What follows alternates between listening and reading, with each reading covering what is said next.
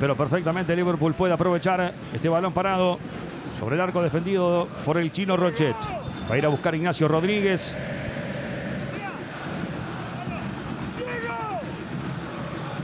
Va a intentar Lemos también.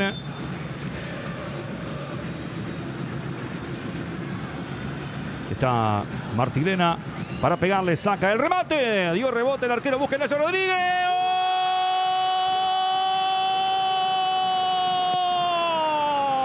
¡Gol!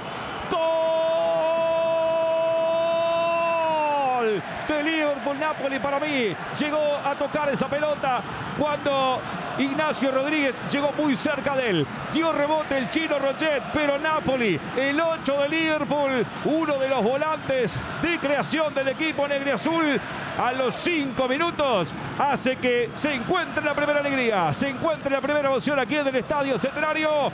Liverpool 1, Nacional 0, gol de Napoli.